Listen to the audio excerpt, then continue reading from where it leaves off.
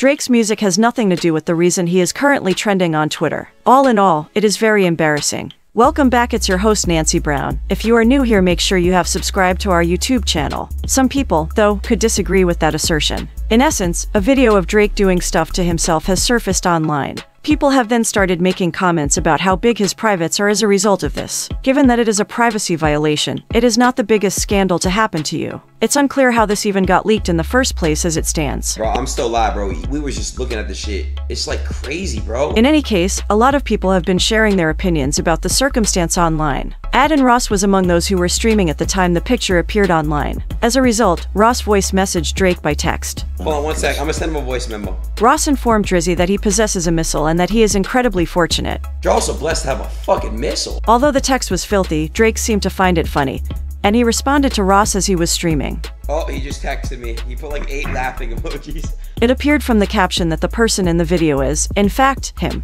He was not at all worried and instead sent Ross a plethora of laughing emojis. He said this might be my next album intro. Oh, great.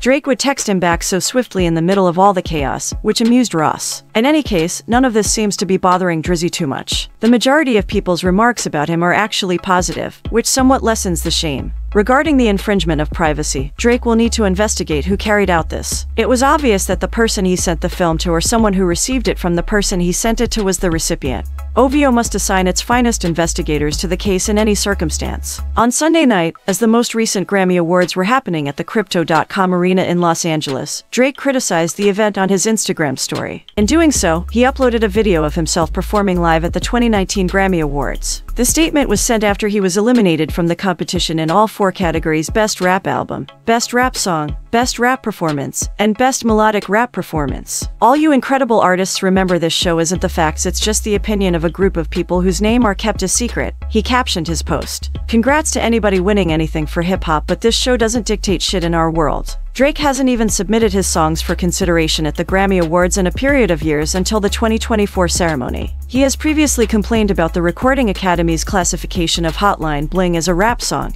and, among other things, the group's rejection of the Weeknd's After Hours. During Friday night's opening night of his It's All a Blur tour Big as the What? In Tampa, Florida, Drake appeared to make a slight jab at Rihanna.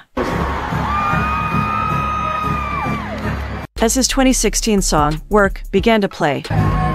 I don't sing this song anymore. You can sing it for me. Drake and Rihanna collaborated on Work as a way to support the singer's eighth studio album, Anti. The song topped the US Billboard Hot 100 for nine weeks, demonstrating its commercial success. At the 59th Grammy Awards, it was also a nominee for Record of the Year and Best Pop Duo or Group Performance. Drake has made appearances criticizing Rihanna before, including Friday Night. The lyrics of his For All the Dogs song, Fear of Heights, seem to allude to the artist, and her album, Anti.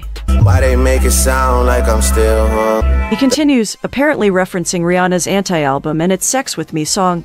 I'm anti, I'm anti. Yeah, and the sex was average with you. And I had way badder bitches than you, TBH. Fans instantly criticized Drake, 36, on social media for allegedly calling out his well known ex, 35, so many years after their breakup. In 2016, the Hotline Bling rapper and the Diamonds singer had a brief relationship that ended two months later due to alleged scheduling issues. Rihanna stated to Vogue in June 2018 that she and Drake were not friends anymore but also not enemies either. What has altered since then that has led the One Dance singer to ostensibly disparage the love on the brain singer is unknown. Drake rapping about Rihanna in 2023 and sounding as mature as he did in 2013 is as disappointing as it is predictable, one person tweeted. Drake dissing Rihanna on the album is crazy, he's so salty I'm weak, another added. A third wrote, Drake dissed Rihanna my baby she is somewhere changing diapers for the 20th time this morning that lady does not gaff LMFAO. Referencing how Rihanna recently welcomed her second child, Riot, with her longtime boyfriend, ASAP Rocky. The couple also share a one-year-old, RZA. According to Drake's supporters, his new album For All the Dogs continues to be a diss track for Pusha T. Streaming sites began to provide Drake's newest album early on Friday morning, and fans have already speculated that a few snarky bars on the song Fear of Heights are directed at his longtime foe. Drizzy makes a nasty reference to Virginia in his second verse, which either be a dig at King Push's home state or at his wife, Virginia Williams whom he previously name-dropped on 2018's Duppy Freestyle. You niggas some pussy for real. You niggas some sissy for real. Virginia, I pull up and chill. You know you can't come watch day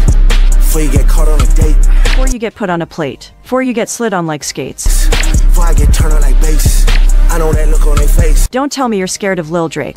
Don't tell me you're scared of Lil Aubrey. Drake's apparent subliminal shots didn't go unnoticed on social media, with one ex user writing, Sheesh Drake basically told Pusha T I go to Virginia.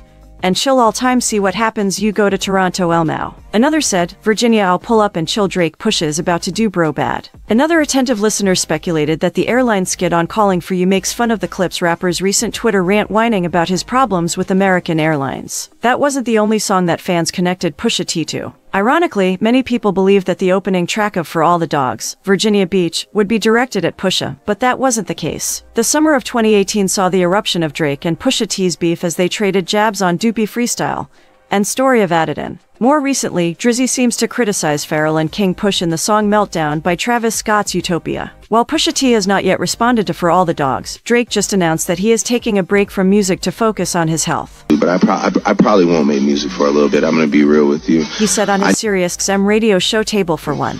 I need to focus on my health First and foremost, I've been having the craziest problems for years with my stomach. foremost, and I need to get right. Oh my I have God, a lot man. of other things. So I'm going to lock the door on the studio for a little bit. I don't even know what a little bit is. Maybe a year or something, maybe a little longer. That's it for today. Thanks for watching. Tell us what you think in the comments section and most importantly, subscribe. See you.